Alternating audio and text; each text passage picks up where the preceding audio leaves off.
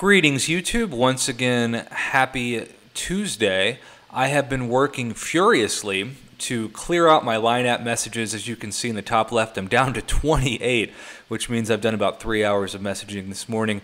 It's my last full day of vacation. I'm trying to catch up on communication with the community, and uh, I received a several messages, shall we say, from Zima underscore blue this morning when I woke up and uh, I just wanted to show you what he has been experiencing because he isn't sure if somebody else is experiencing the same bug, and Lord knows it is a terrible bug. So, just to give you an idea of how Dungeons has evolved, if you're kind of new to the dungeon concept, I hated Dungeons when they first came out last year. I think it was in May of 2018. I did not do a single dungeon run until Dungeon Day, which was mainly because I just started doing live streaming on my channel and I thought how cool would it be to do dungeon runs with my subs. And it was really cool. Now I actually enjoy dungeons for the most part, but I get that the biggest issue with dungeons is the refresh timers at this point. They give you almost no rewards, microscopic rewards, but then they lock your six stars out for almost a week and you, they lock your your four or excuse me your five stars not your four stars but your five stars out for almost four days and it used to be two days and so if you were smart and you did a dungeon run with your best trio of champions in the opening night of the dungeon three day period when the next one refreshed your champions would be refreshed. Kabam caught on to that. They wanted to make more money off of it and in their defense, I'm sure it cost them quite a bit of money to actually develop this dungeon concept, and they're probably not getting much, if any, back of profit in return. But also, the dungeon uh, communication and the matchmaking system is unbelievably terrible.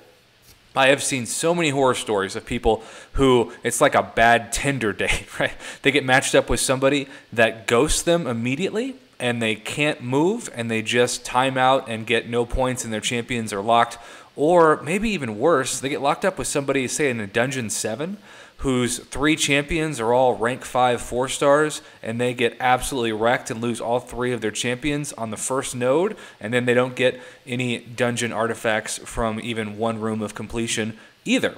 So that is unfortunately the unreliable system of this. So what I thought I would do, and I asked this user if I could do this, and he said sure. I wanted to show you his messages and his videos to me that he sent this morning so you can get an idea of what this is. So he says, Hey, Prof, just wanted to send this in to show how soul crushing the dungeons are. And that might sound like hyper- hyperbole to some, but they can be soul crushing when you're risking your best champs. Not to mention the unre- unreliable teammates, which I just discussed. The following bug occurred multiple times now, and I have to say, he said he's on the latest, newest Android phone. This is not like a a device issue, at least not from what it seems. It ruined a full dungeon run for me and the random teammate before it even began. To explain what happened before the video started, I started the dungeon and proceeded to the first fight. I clicked start on the pre fight screen, and then nothing happened until the one minute timer went zero. I was sent back to the map view screen, but then I couldn't start the fight again. All that while my teammate had already finished his first fight and was waiting for me. I restarted the game to see if it would help for, for me somehow. The old turn it off and on again trick, and then this happened. So you can see he has a dungeon that he needs to hit continue with on the Mutant versus Mystic. He hits continue, and it sends him back to the loading screen of the homepage. And it just kept doing that over and over again until he timed out. This, however, is just the tip of the iceberg. Having your six star champions locked for almost a full week is just ridiculous, and I have covered that in multiple videos. Completely agree. And the game is so merciless when it comes to things like this or leaving teammates, where you get the partner, you get uh, zero points, and in turn have three of your champions locked. I already wrote a ticket to the Kabam support, but I don't really expect anything of an helpful answer, so I wanted to reach out to you. Okay, so thank you for reaching out to me because that is why my channel exists to talk about community issues, especially issues that Kabam tries to silence on the forums, uh, which is, of course, another way to uh, basically just make it to where they can turn up their nose to the issue. And I think he just submitted another message as I'm recording this. I just wish there was something of a failsafe with the dungeon system, and there's no doubt that there should be a failsafe.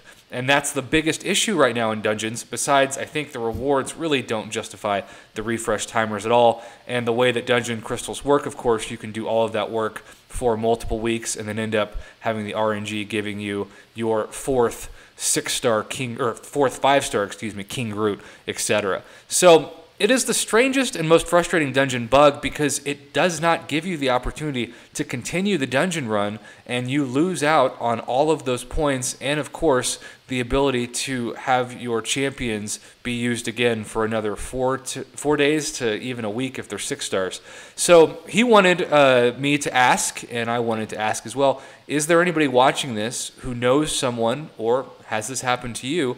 Because this is a very serious bug for this user and typically, I like to discuss things that are patterns or uh, troublesome issues that are happening to multiple people. So, if you could help him and I out and comment below and let us know if you have seen this, uh, I have a feeling a lot of people are just going to comment, This is why I don't do dungeons. I've never done dungeons, blah, blah, blah. And you know what? I can't blame you. It's right up there for some people with the annoyance of Alliance War, only the rewards are not nearly as good as Alliance War. So for some people, it's the worst part of the game.